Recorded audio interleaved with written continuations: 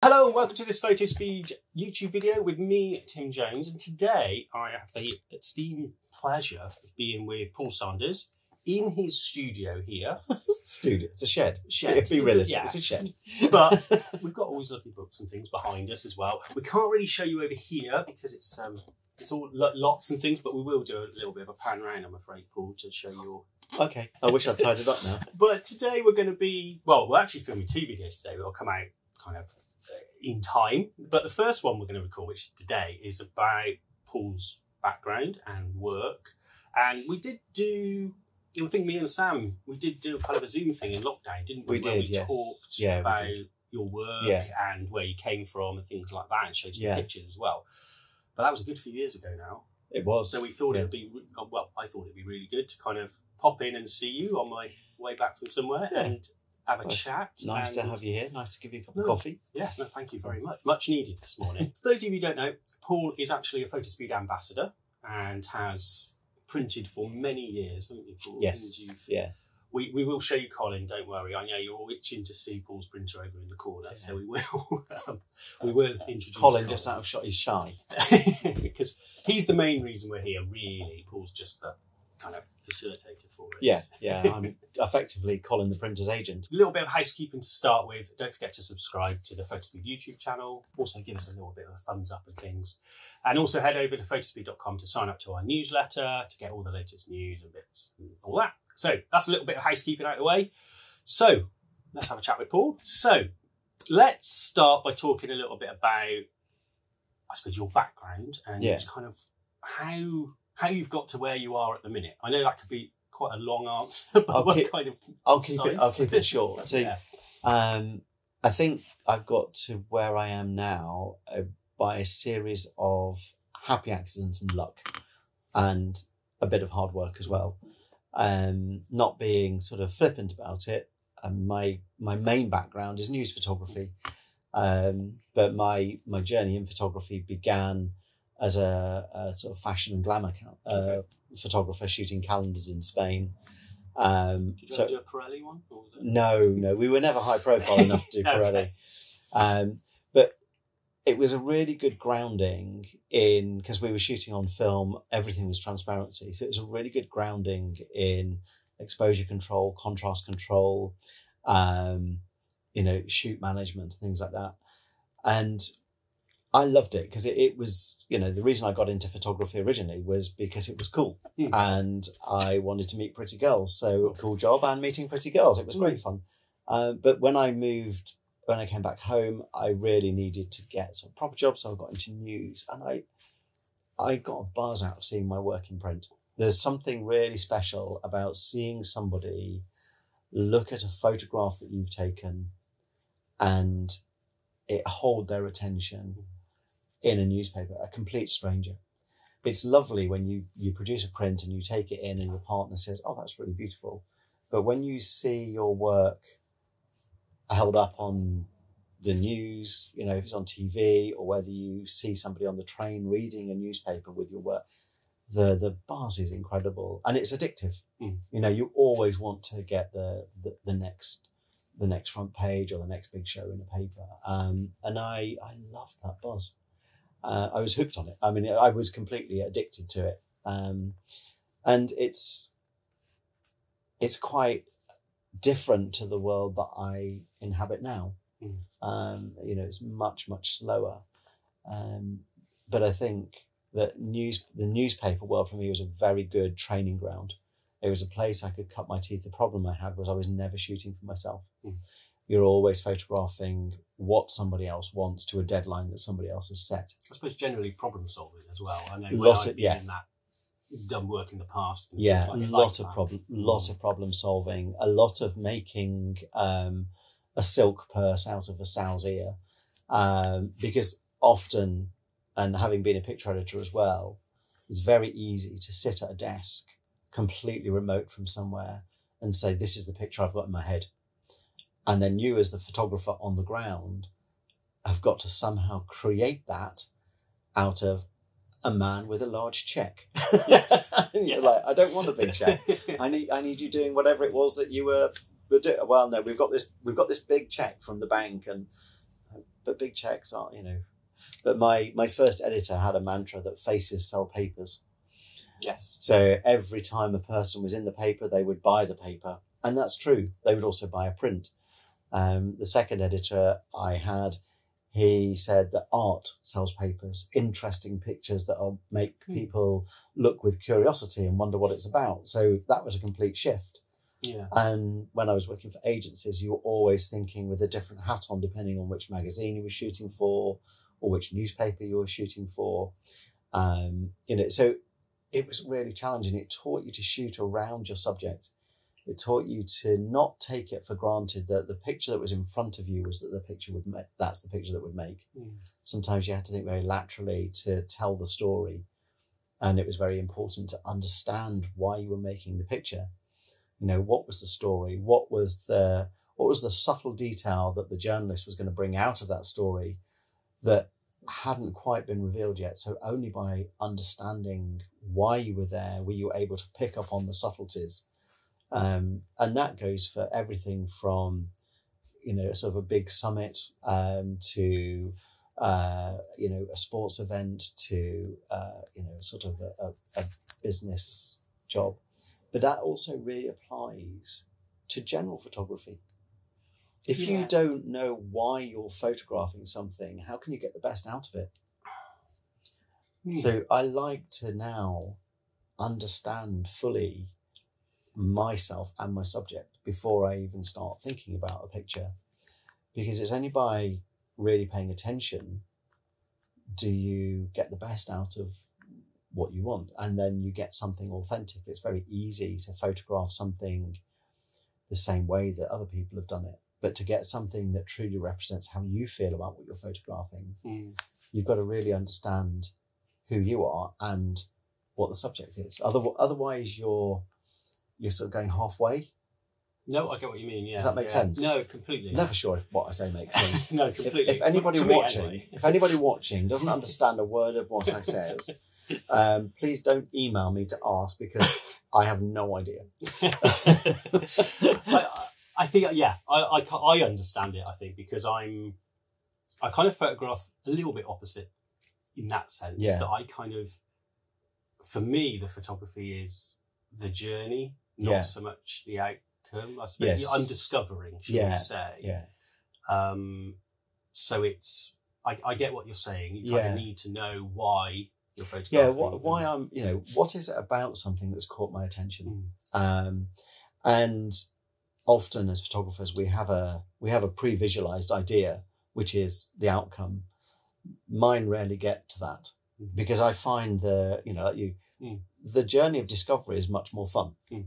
And i think that if you're if you understand why you're captured by something why something really takes your attention then you can explore and let that unfold.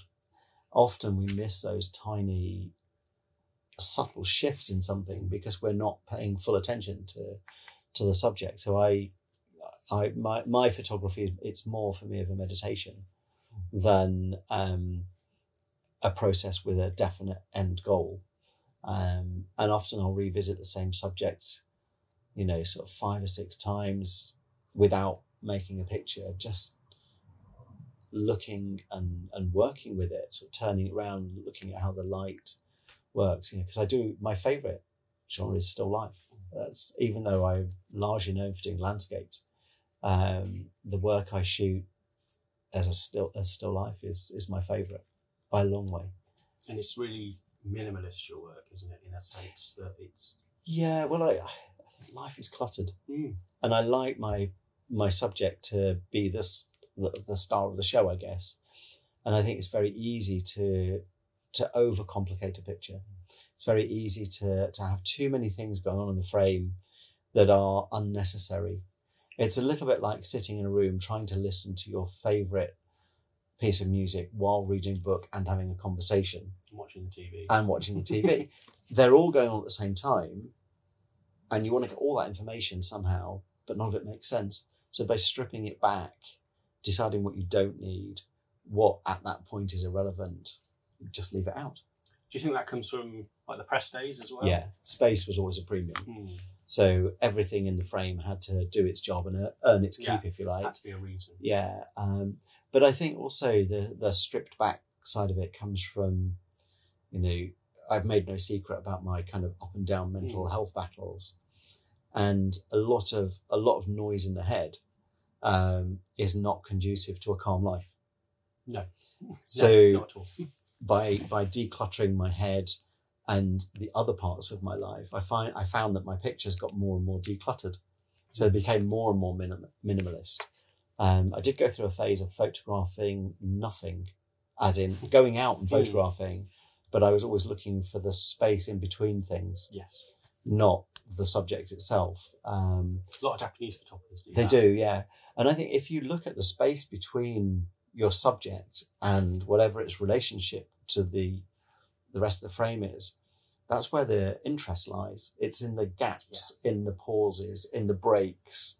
Um, It's all the little details we normally walk past. Yeah. And you just think, oh, wow. Yeah.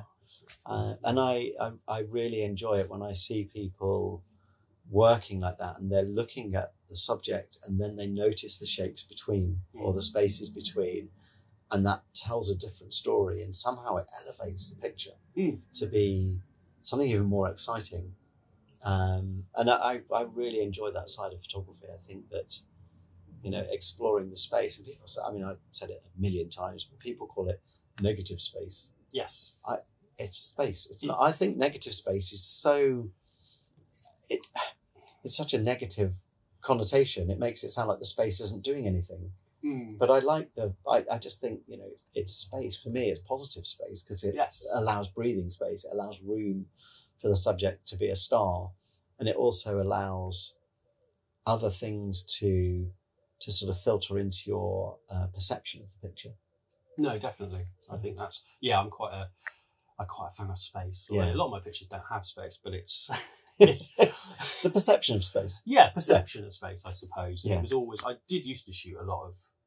things. I always put the I, if I photograph people, they were always in a corner somewhere Yeah. with massive space. Yeah. I know that some people say, "Oh, we should have subject walking into space." No, mine was walking out of frame. like their nose on the I edge. think it's just been my life, to be honest. I'm rebelling against Cartier-Bresson, but um, I think that's just Why not? that's my, my mission. Yeah. Um, also, why is that? Does it that link to why your work's mostly black and white and just Yeah. taking that colour away and just Yeah. decluttering? The I find color quite disturbing.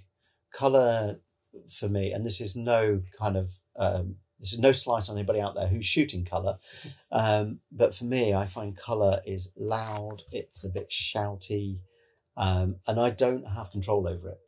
Mm. I can't. I, ju- I just have no understanding of how to control my color.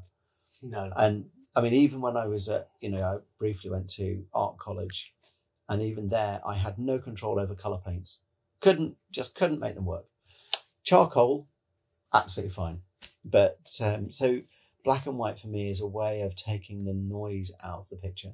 Mm. It's allowing the subject to to speak in a way that it's not normally allowed to speak, because most people go, "Oh wow, that's a fabulous color, you know, beautiful sunset. Look at the colors, or wonderful Mm. flower. Look how yellow it is." Yeah.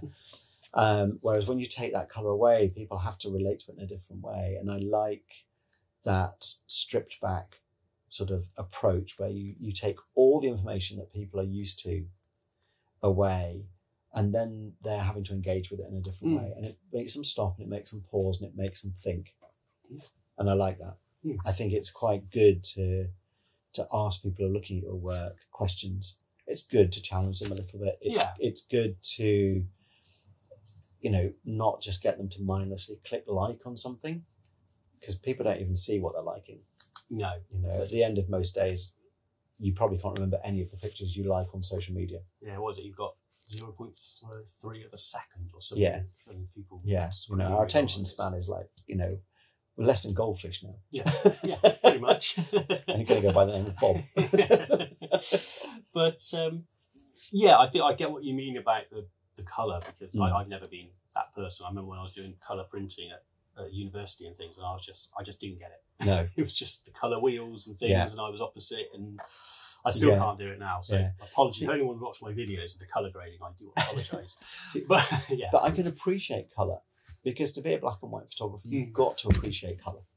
But you've got to appreciate colour and then assess what tone it will reproduce as and where you want that colour to be in your tonal range. You know, do you want your reds to be black or do you want them to be light? Do you want the blues to be dark or do you want them to be light? Do you want the greens to be a mid tone or an extreme tone?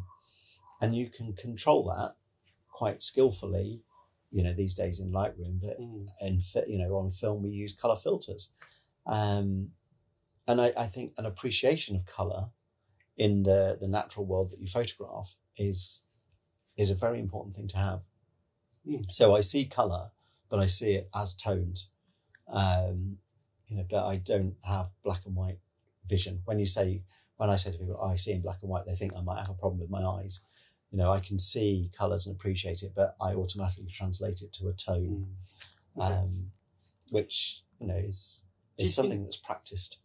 shooting in black and white is kind of it, it brings it out of reality a little bit. Colour's a bit too real. Does that Maybe, yeah, I've not thought of it like that, but I, I think that it's the simplicity of the message in black and white that that gets me. I mean, color is a bit real, and people have a habit of making it hyper real.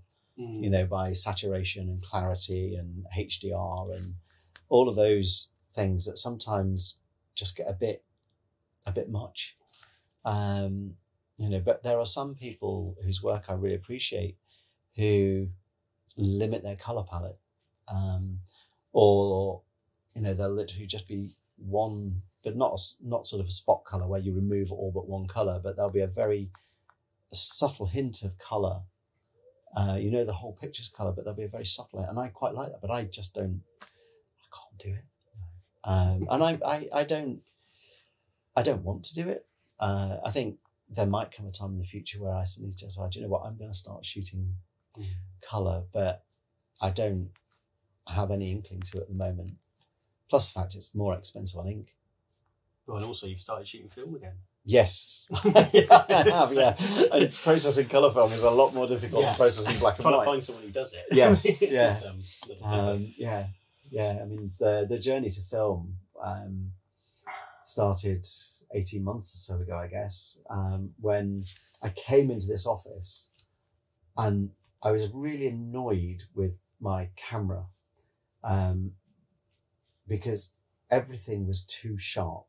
Mhm. It was too clean. It was too clear. It was too perfect, and We're not going to say which camera that is, by the way. No. but it was a medium format digital camera. You can um, you can now the fact that this camera produces such amazing, amazingly sharp images it is a a success. You know, it's not it's a bad camera, no. but uh, I I've grown tired of perfection. I think perfection is so boring. It's so mundane that actually it can't even be celebrated. And I love photographing mundane things. I love celebrating the ordinary. But perfection is so overrated because it it's a man-made concept. Mhm. Nothing in life is perfect. We strive to be perfect. You know, people have cosmetic surgery. We go to the gym. We go on diets. You know, we buy nice clothes. We we portray perfection of life in our, our social media. But actually, life isn't perfect. It's messy. Yeah. It's broken. It, it's unruly. It, it's know, it's chaotic. Yeah, it's not the I know kind of the genre I'm in with street photography and things. I the pools of light Yeah. they do annoy me. I should probably shouldn't say.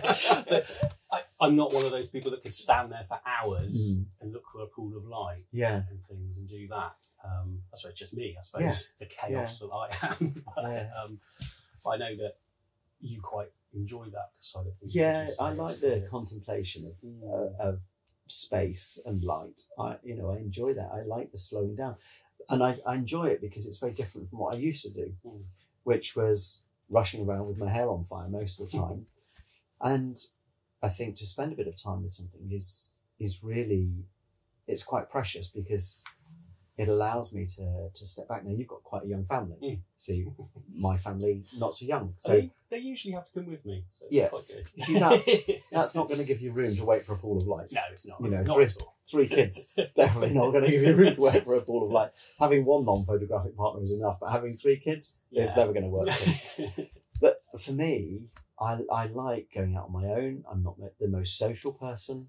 Um, I don't like photographing when I'm with other people. You know, it's quality time with myself, and and I use photography as part of my sort of self care thing. You know, that quality time is time that I can step away from the things that I should be doing and do something that I want to do. And there's a there's a huge difference between what we feel we should do and what we actually want to do. You know, most of us feel we should go to work to earn money to pay the mortgage, Mm. um, unless you're a professional photographer, and then you go to work and you still don't earn enough money to pay the mortgage.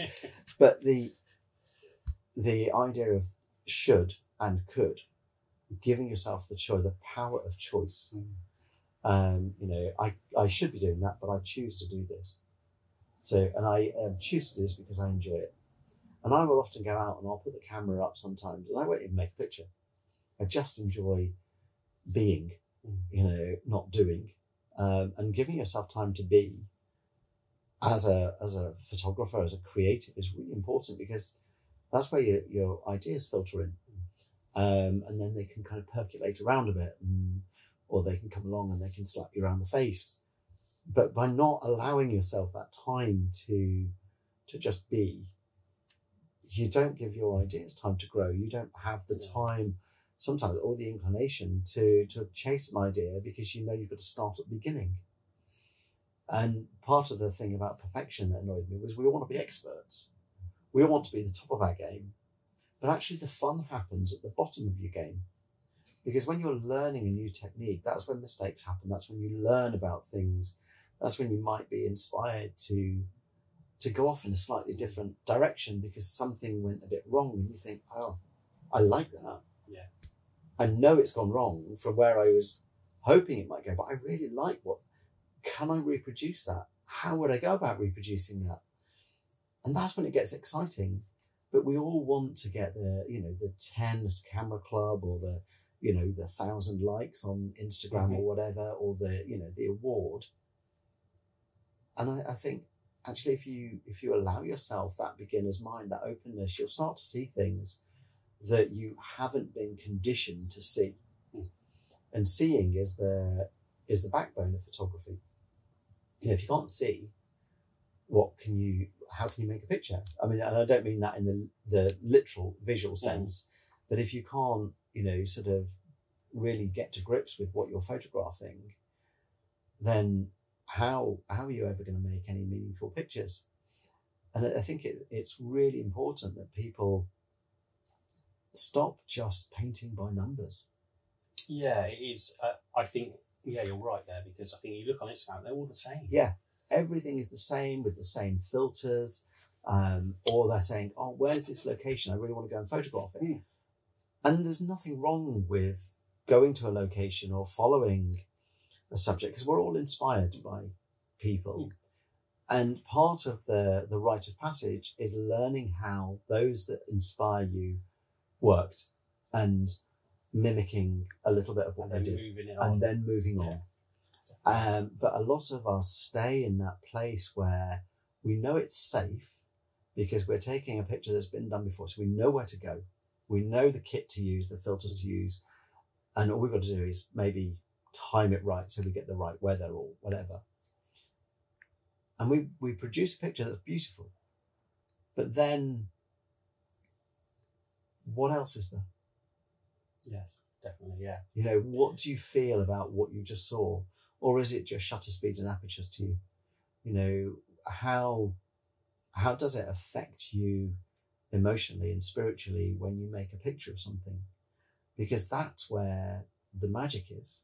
You know, if you look at the work, I mean, my influences, you know, Minor White, Edward Weston, Sarah Moon, Ansel Adams, Harry Callahan, uh, Man Ray, Bill Brandt, they're all old school photographers. Um, All very different as well. yeah, and I've I've made pictures that that match some. I mean, uh, flower photography you know, I draw my inspiration for that partly from Edward Weston, but also from Robert Mapplethorpe. I was going to say Mapplethorpe. Yeah. I think it's quite. And uh, you know, I love his flower work, but they're not just pictures of flowers. no. They're pictures of his emotions, Yeah. And, and that's you know, and and and, and, and the other you bits. but, but you know, and sort of- you know, fantasies. Um, that's a good word. But- but we're frightened of revealing ourselves. yeah, no, we are definitely. And I think the the longer we go on, the more and more withdrawn we are, the more and more closed off. And only by opening yourself up, being a little bit vulnerable to to things, is is where you start to find your your creative voice. Mm. You know, it's the, creative voice isn't in the security. Creative voice is in the insecurity. You know, but we sit in our security blankets, photographing the same thing in the same way, frightened of going, actually, I don't particularly like what I'm photographing. It leaves me a bit cold.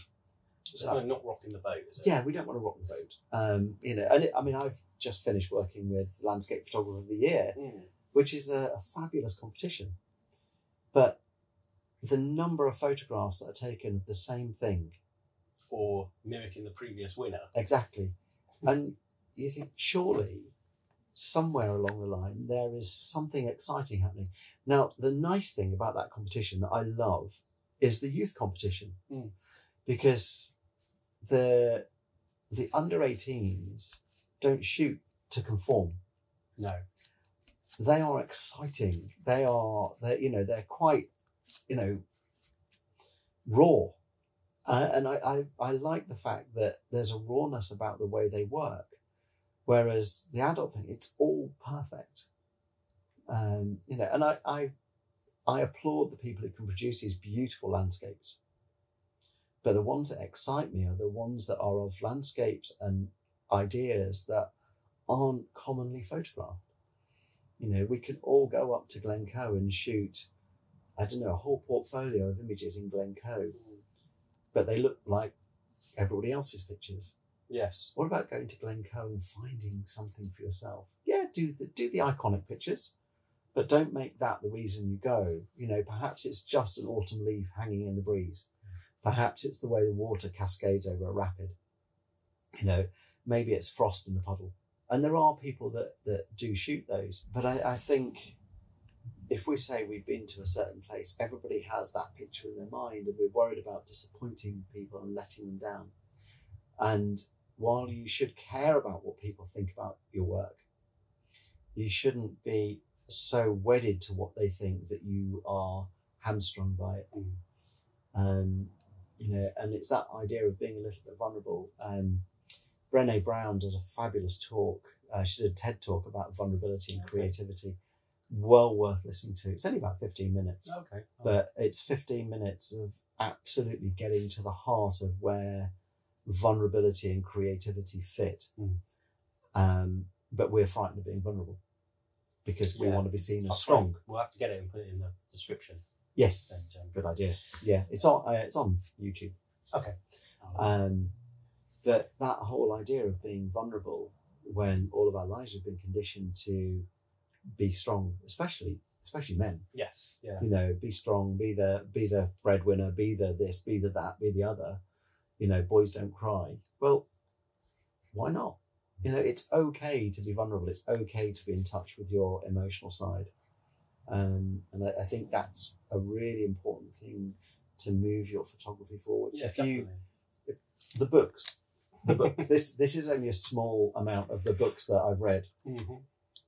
there isn't one of those books that says, as a photographer, you need to be strong. Every single one talks about vulnerability, about empathy, about feeling, um, about the emotional connection with your subject, and of often seeing something of you in your subject. And yet we turn our back on all of that to show that we're perfect. Yes. Yeah. I Yeah. think we do, especially on social media and things like that. So- Yeah, exactly. But um, yeah. Well, I think that's a nice way to draw the part one of this lovely talk Oh, Um, I'm really sorry. so, until next time, don't forget to subscribe to the channel and also sign up to our newsletter. And until next time, um, we'll see you next week. Bye bye. Bye.